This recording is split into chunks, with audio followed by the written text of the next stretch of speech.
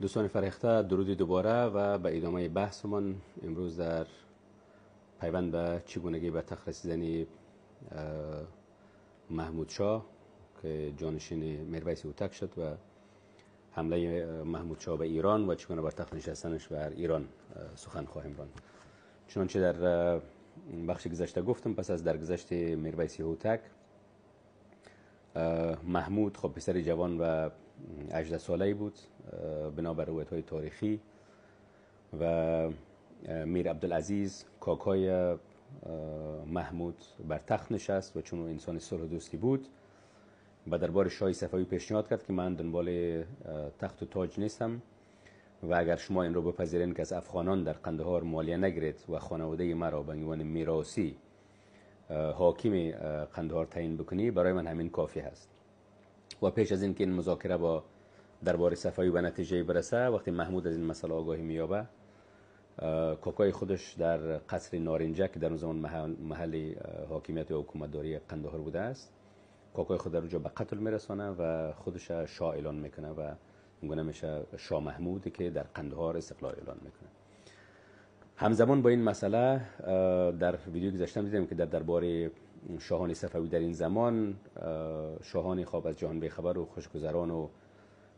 خرافاتی بودن و رویدادهای اتفاق افتاده بود که قدرت مرکزی یا دولت مرکزی یا در دربار در اصفهان یکمی از هم گسسته بود و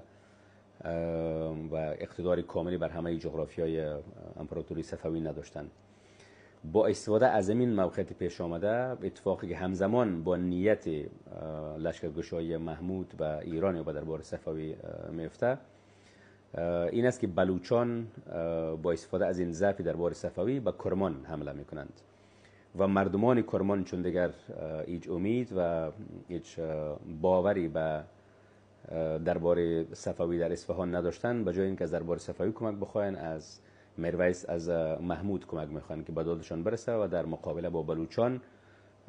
با اونا همکاری بکنه. حالا محمود هم با اینکه تجربه مثلا جنگی و حکومت داره اینها نداشت ولی از پدرش شنیده بود که دربار صفوی دربار ضعیفی است و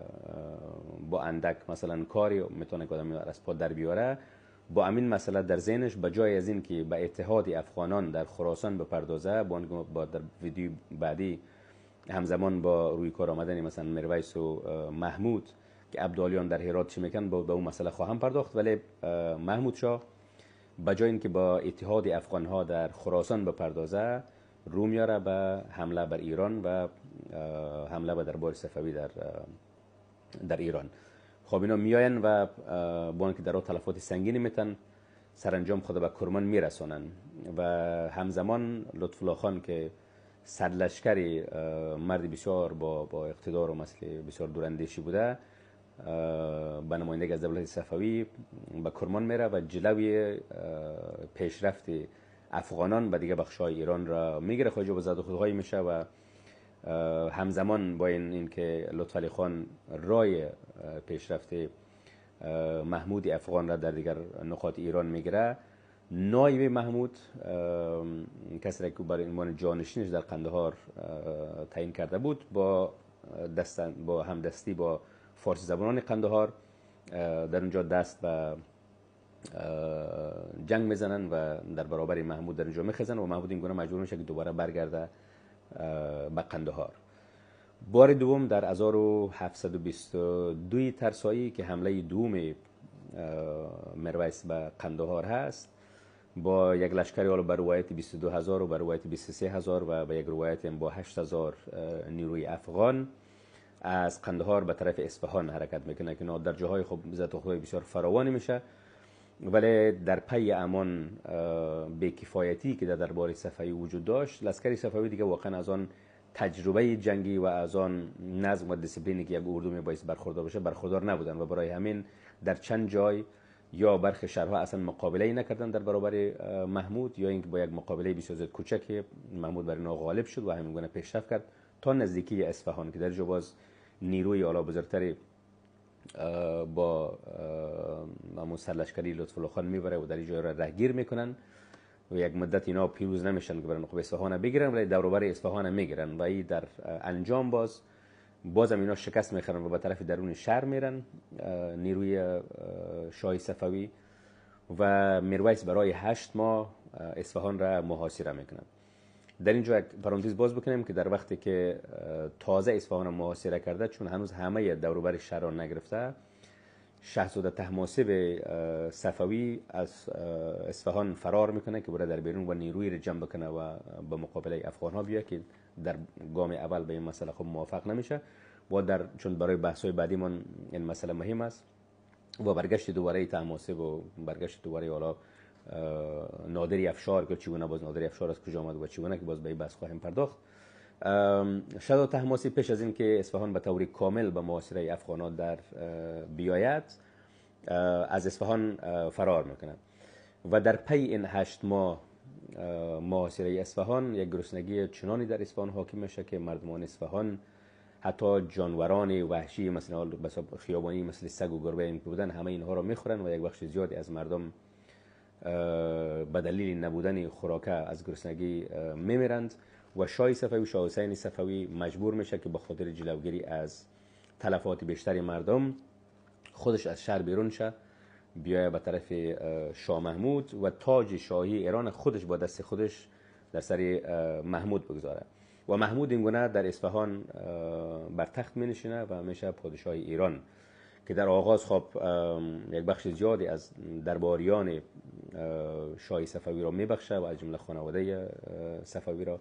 اما در این مدت و اتفاقایی که در جامعه افتاد و شهزاده طهماسبی که با در قزوین و در شیراز دوباره مردم جمع می‌کنه و قیام می‌کنه در برابر شاه محمود. اتفاقهای از نگاه روانی برای شاه محمود میفته که شاه محمود تبدیل میشه به عنوان بسیار به انسان جنون زده و یک انسان بسیار زیاد عصبانی و قهر. که در اینجا باز کاری که می‌کنه میره و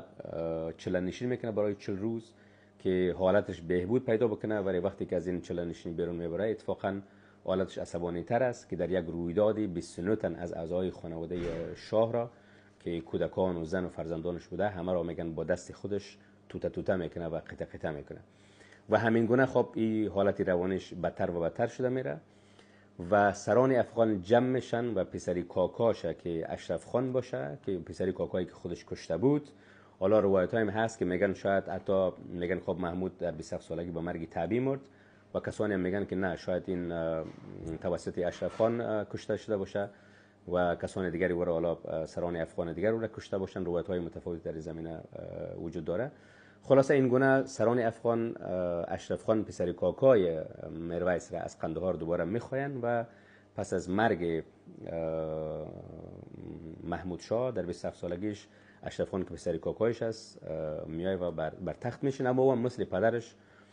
آدم صلحجوی است و به دولت صفوی بازم پیشنهاد می‌کنه که با شاه سابق که تو بیا و دوباره بر تخت شاهی ایران بنشین. ولی در اون زمان آنقدر انزوایی و آنقدر ناامید و از کار افتاده است که از این مسئله صرف نظر می‌کنه و باز در ادامه بحثمون در هفته آینده خواهیم دید که جنگ اشرف خان هوتک پسری کاکای محمود شاه چگونه شکل می‌گیره و چگونه در برابر شهزاده طهماسب میجنگه و رابطهشون با دولت صفوی و تقسیم ایران میان دولت صفوی و میان افغانان و میان روسان و پدیدار شدن نادری افشار به عنوان یک سرلشکری ورزیده به عنوان یک دارا ژنرالی ورزیده. به اصطلاح امروز اگر بگیم